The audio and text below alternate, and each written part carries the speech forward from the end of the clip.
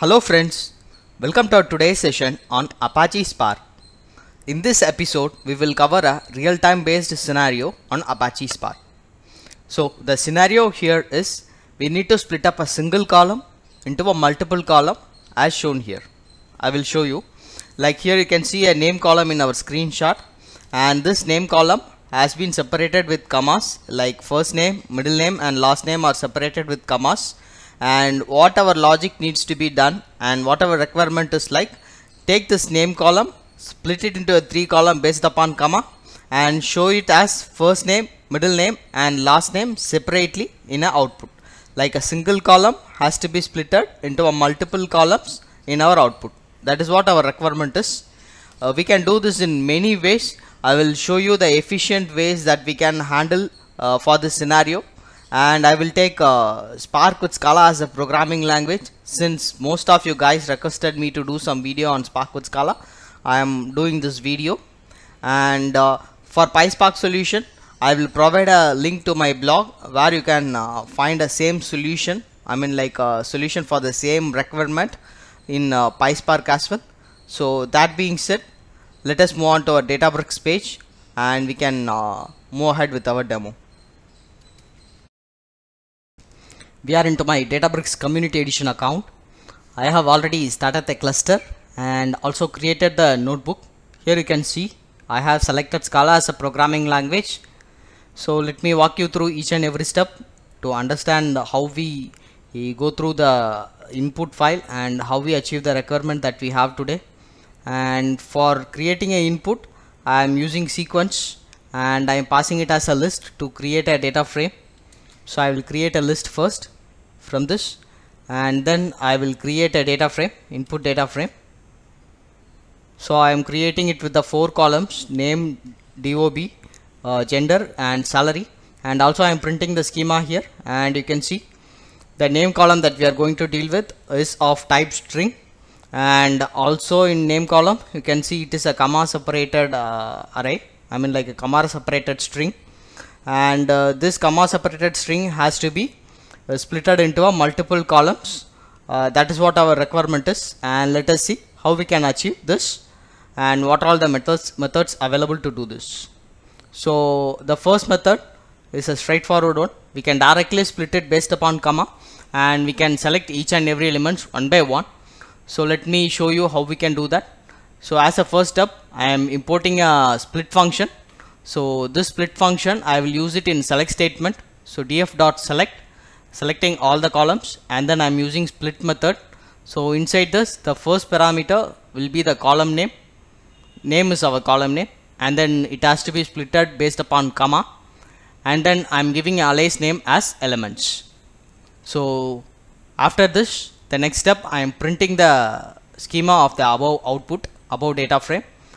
And again this to this data frame I am adding a with column and adding whatever the columns that we need. First name middle name last name. And then uh, here I am using identifier get item and passing the index of each and every elements that we need. So here as you can see uh, we have only three elements and I am passing 0 1 2 to the get item and I am finally dropping the elements. So let me run this and I will show you a uh, few things. So here you can see our input uh, data frame of name column is of type string. But whereas after splitting it our element has changed into array type. So the split option has changed the column into of type array of string. And uh, here after that I have dropped that element and I had used with column to achieve the requirement that we have today. So see here you can see the name column is finally splitted into three column first name middle name and last name as required. So this can also be achieved like uh, the identifier is not required. Get item identifier can also be ignored to achieve this result. So here I am simply giving element of 0 element of 1 of element of 2 as well. So this as well will give us the same result. And also we can use element at function that is available in spark to get the elements in each and every position. But here you have to remember you can't use the index value that is available. Like in the above method you had given 0 1 2 but whereas here you have to give it as 1 2 and 3 here in element at the 0 index will not be available. So the syntax is element at the first parameter will be the column name. Uh, this column name has to be array of string and the second parameter should be the position. So this is what the syntax is. Let me run this. And you can see this also gives us the same result that we need. But here you can see for each and every column I am using with column uh, and I am adding it. Whether we have any automated way without adding a with column uh, without having many and many of lines in the code uh, can we reduce the number of lines in the code to do the same process? So yes we have. Uh, like uh, the list comprehension that is available in Python we can do the same thing here to automate it. So let me show you. In the first line you can see I am giving a desired column and I am creating a list. So this list is nothing but a schema kind of thing. I am passing a first name middle name and last name into this list. So after this I am taking a size of this list it will obviously be 3 we know. And then from here I am iterating it through. This is the place where I am creating a list comprehension path. So far I ranges from 0 till uh, the size of the desired column. I need to pick up all the elements. I need to extract all the elements using the get item. And then I am assigning a value. I am giving alias name as desired column of i. So in this way it will get all the columns. So this column list I am passing it to the df underscore name split uh, data frame that we have. Df underscore name split is nothing but the one which we applied the split operation. So this line you can see. The split function that we have applied and created a data frame which is called name split. To this I am giving a select. And I am passing this column list and extracting all the columns that is available. So let me run this. You can see I am able to extract all the columns that is inside the name column.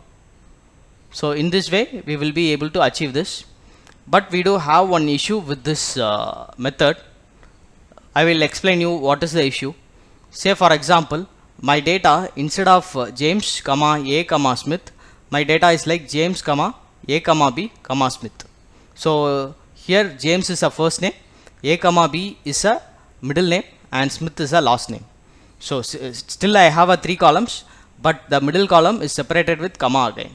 So if that is a situation then whether this split method split function is able to solve this let, uh, let us understand that. So for that again I am creating a data frame but with different uh, name I am creating df underscore s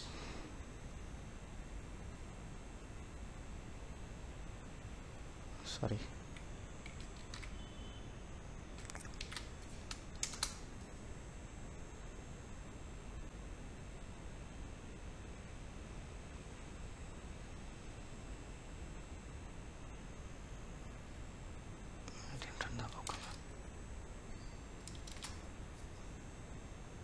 So you can see my input name column is having James A comma B and Smith. And uh, I had used the same code here as well. I am not doing anything. I'm just copy pasted it. And let me run this again. And now you can see the require uh, the output got changed. The middle name instead of A comma B it is just displaying quotes A. And last name it is displaying B quotes. So there is a bug in this. We will not be able to get a required output. Like if you have a, a comma in a column if you have a comma in inside a column then you will not be able to get the exact result that you want when you are using split method. And to solve this problem we do have another solution. We do have another function in spark. Let me explain you that as well. So that comes the method to to use from csv so for that I am using the I mean like I am importing the libraries. Uh, as a first step I am importing all the types that we need string type struct type struct field and then the functions from CSV and col. So a couple of things I am extracting. So this implicit it will be by default will be uh, imported. I mean like it will be added in the Databricks but if you are using the uh, IntelliJ IDE or else some other Cloudera or Hortonworks platform then you have to import it explicitly. Uh, it, it will not be imported. And as a next step I am creating a schema so here you can see I am creating a schema of struct type and adding all the columns to it uh, as a string type columns first name middle name and last name. And let me run this. Let me run the import statement first.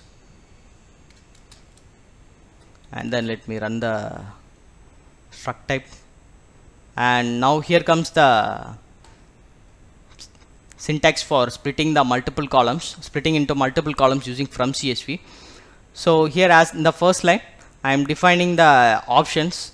Uh, like it is simple as like uh, spark.read.csv here also you can specify the options that you want. Like if you want it as a separator you can spe uh, specify SCP by default the separator is comma. But since I wanted to explain you I had made SCP as comma. And if you need to ignore the quotes I mean like if you need to have a escape sequence uh, then you can uh, give escape uh, quotes and then if you want to trim white line white space then you can give trim white space.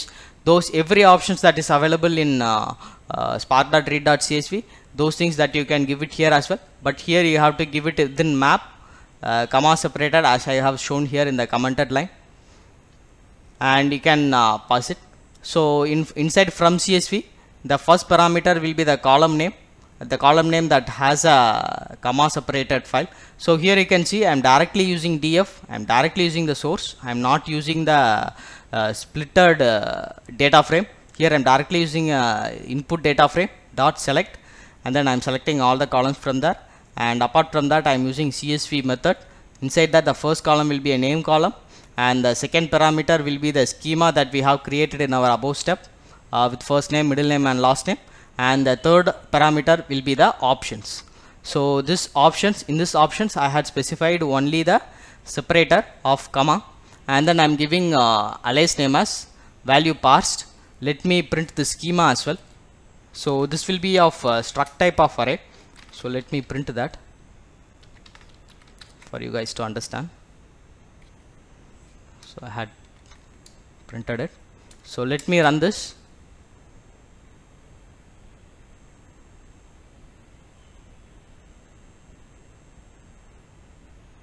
so here you can see my value parsed is of struct type and inside the struct type I have a strings. So this is how the uh, input is. I mean like this is the input and uh, this is how my output is. This is the required output that we need James A. Smith. But let us try with the issue that we had the above issue that we discussed. Let us see how this gets solved in our uh, CSV so the input is df underscore s is so let me copy this data frame name and let me paste it here. Instead of df I will put it as df underscore is and uh, here as well let me put df underscore is and let me run this. So it got completed. And now you can see still the value parsed is of struct type and here the input has James A comma B Smith and in my output data frame you can see James A comma B and Smith. So this is how the issue get resolved in from CSV. Hope you guys understood this concept better. Uh, please do try this in your own machine and let me know if you face any issues. I'm happy to help you guys. Uh, thank you for watching this video. Please do subscribe to my channel and also give a thumbs up signal if you really like my content. Thank you.